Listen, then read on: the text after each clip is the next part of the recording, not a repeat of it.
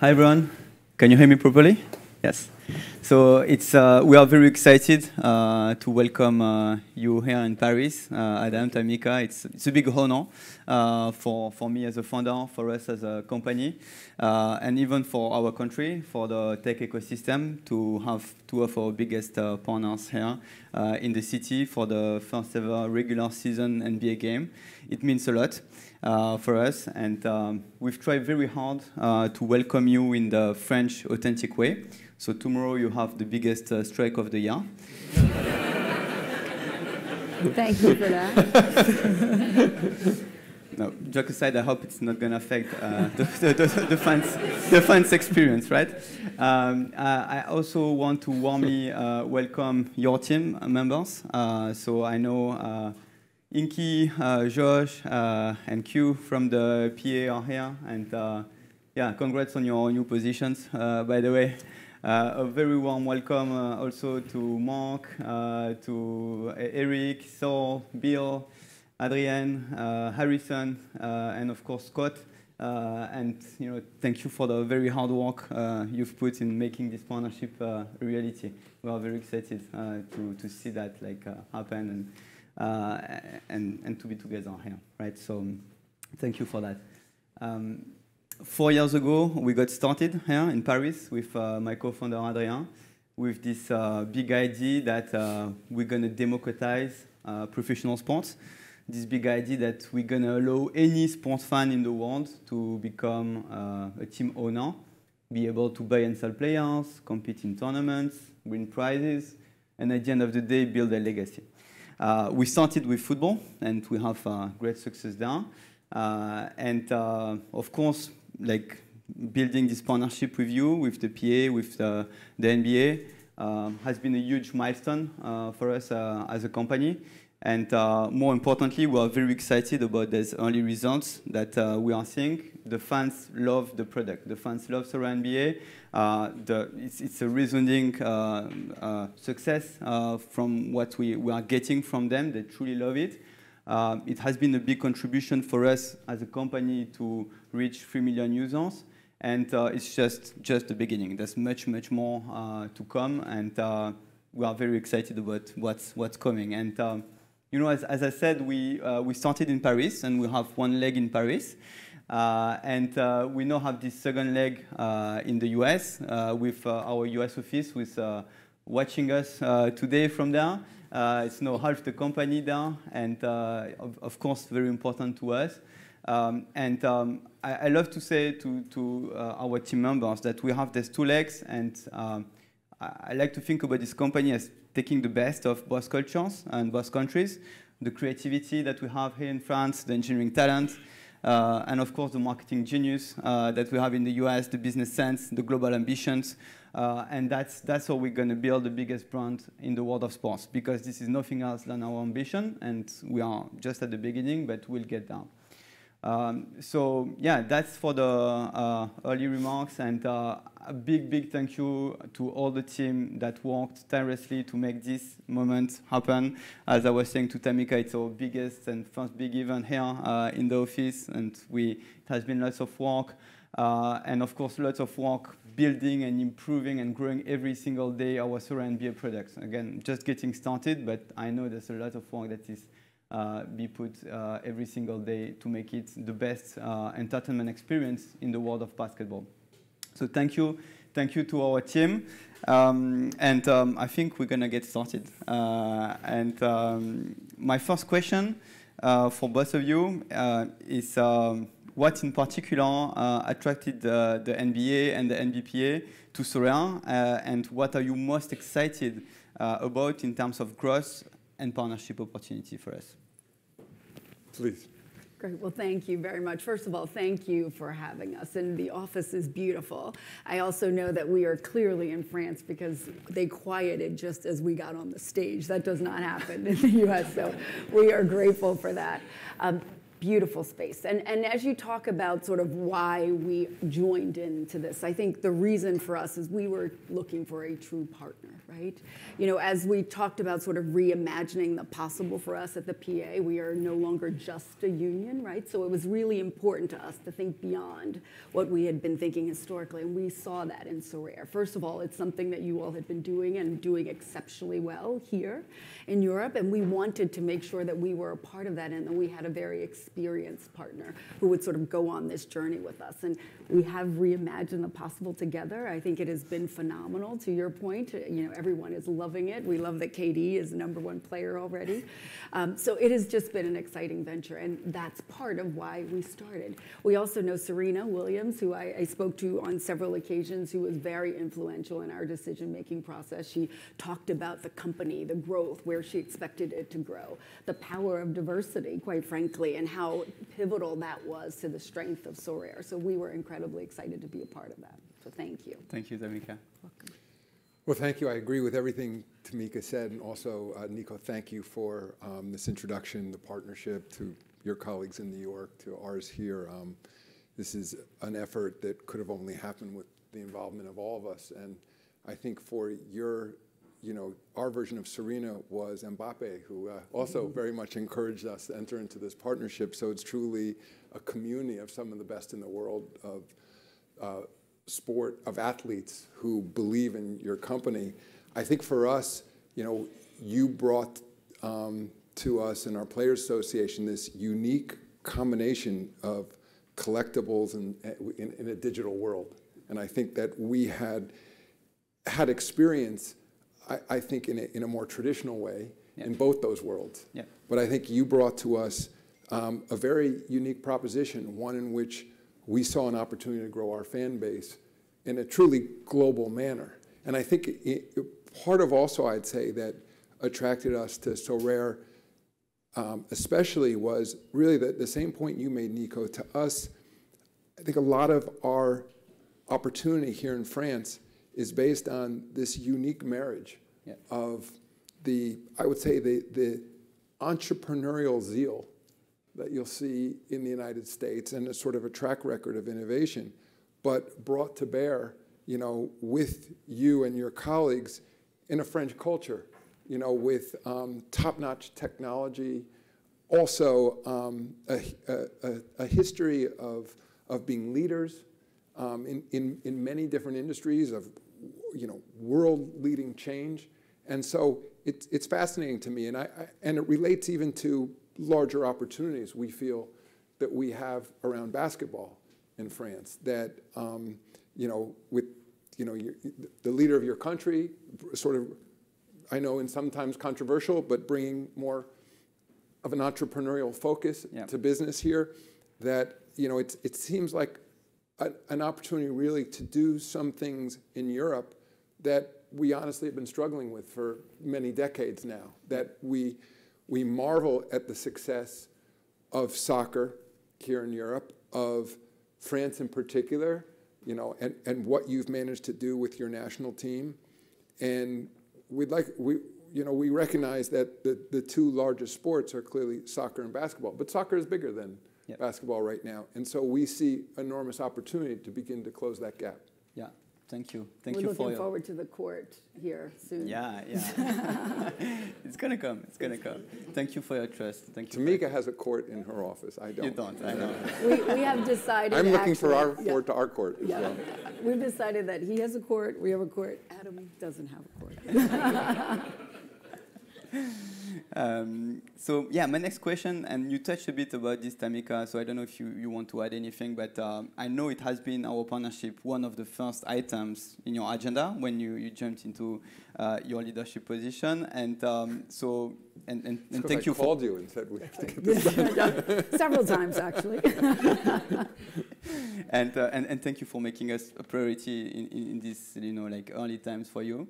Um, so yeah, we I, I, think the audience is, is curious to know like uh, like your kind of selection process. So you mentioned Serena, you mentioned the true partners. Is there anything else you you yeah, know so you, you want to add there? Absolutely. So when we were talking about kind of this reimagine the possible, obviously really looking at business opportunities. So Josh and Inky and Q had really been focused on sort of where are our bigger opportunities, where should we be looking to grow, and in particular, global was a big you know prong in terms of things that we wanted to make sure that we were accomplishing, and this was certainly a way to sort of capture all of those things. So to Adam's point, certainly technology for us is where the future of basketball is, yep.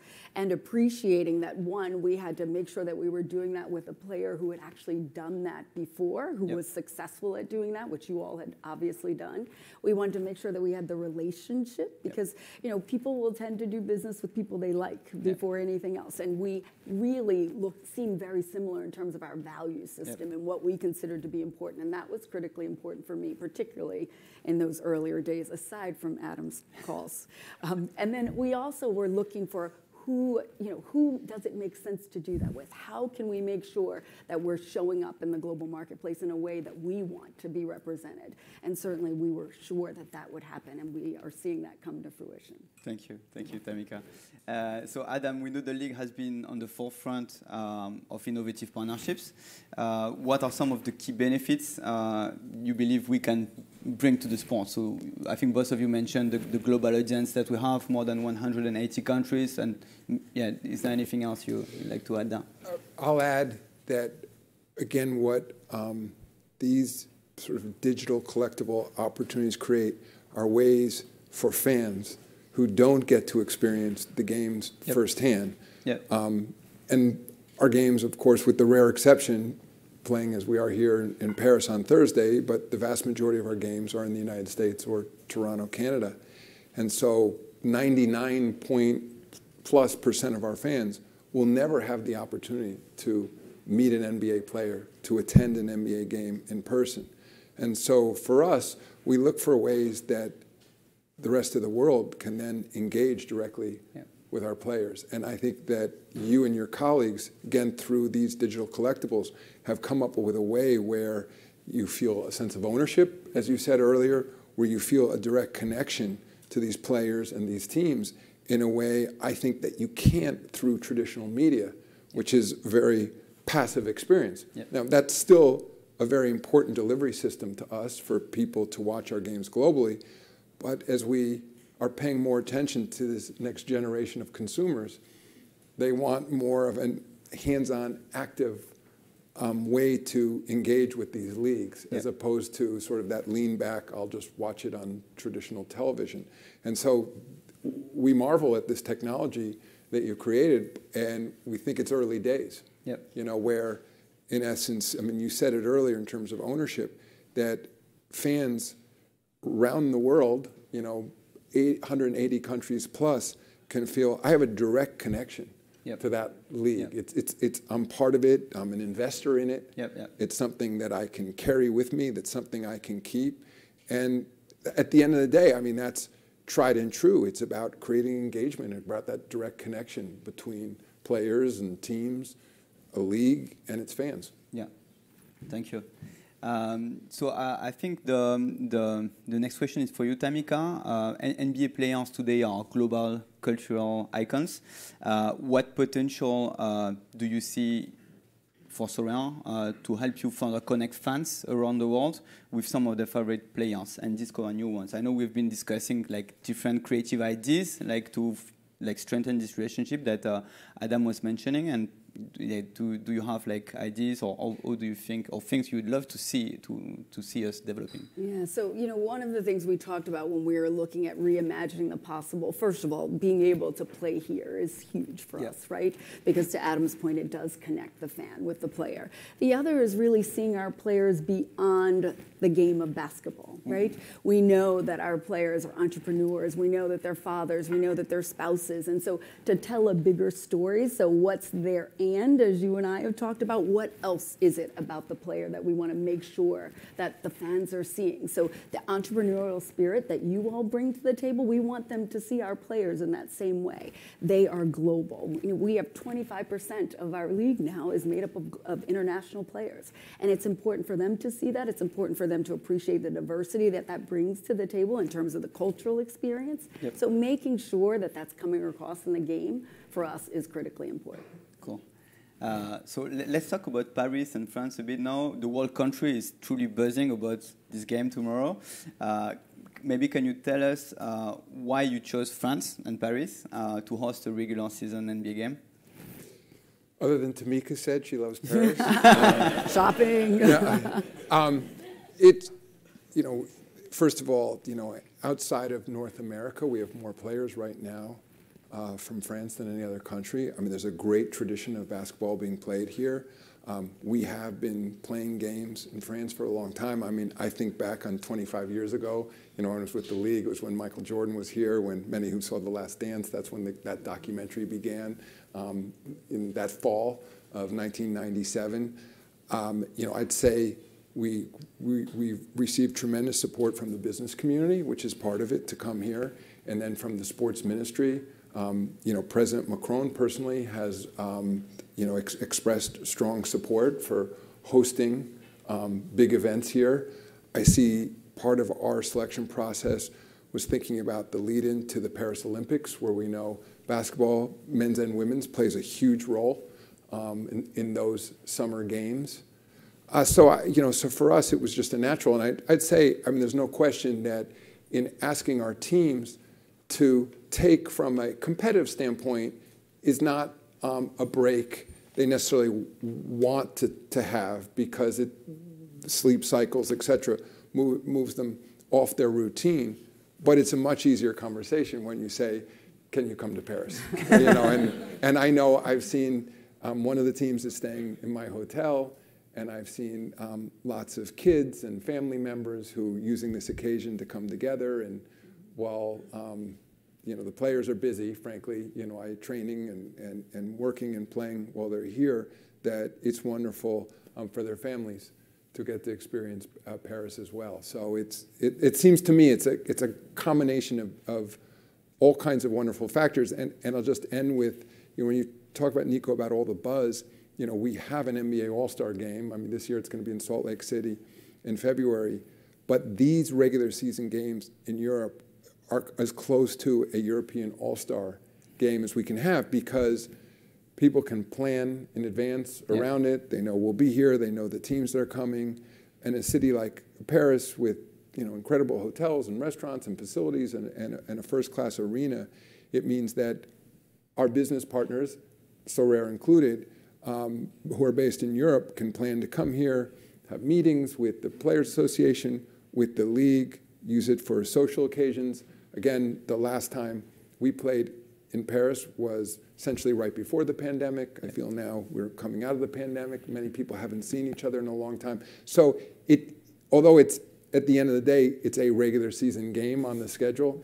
It takes on much more significance for all of us because of, of all this event, thank you, and, and all the activities around it. It makes it truly special for um, particularly our partners and our fans to be able to gather here. Excellent. Adam didn't want to say that it's because it's Men's Fashion Week, and he didn't. That's true. That's true. my team was on me, like so that I dressed accordingly. I'm, so I'm embarrassed to, to say I didn't know that, but okay. you can, as you can tell.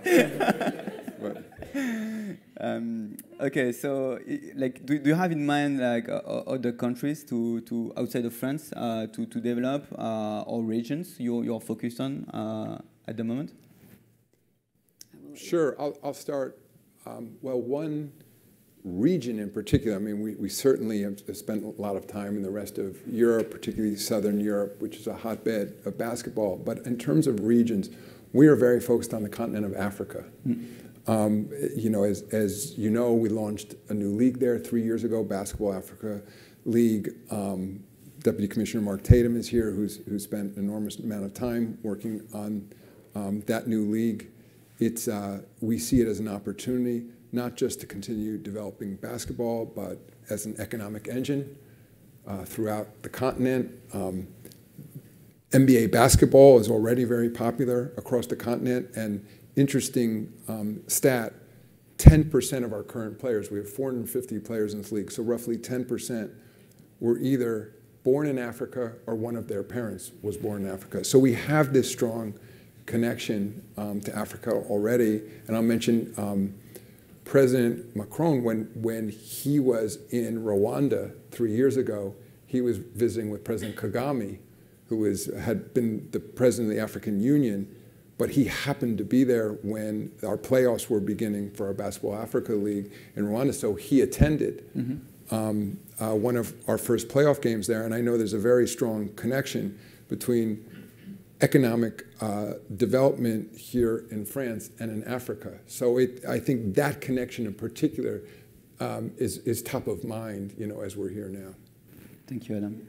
And I know, as Adam mentioned, even Basketball Africa League, obviously they had their combine here earlier in the week, which is a really big deal. Yep. Um, I think that has been significant. I think also for us, we're sort of guided a little by what our players are looking to do. So, yeah. as you all know, many of our players spend a lot of time here, particularly in the off season, whether it's from a philanthropic perspective or whether they're training here. So, we had an, our event in Spain, and where we actually had our players here doing their performance labs, where they had a chance to spend time in country doing these things, as well as One Court Milan, yeah. where they were being educated. So it really is an opportunity for our players to really expand their role in the things that are significant to them. So I, I think it just makes sense that we continue to move in that direction.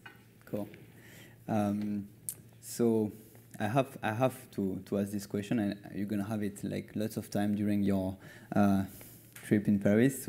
What can Victor uh, Wembanyama, of course, uh, bring to the NBA and NBPA from a sports, but also for you know from a marketing perspective and what yeah what, what are you expecting for such a hot prospect to join the league?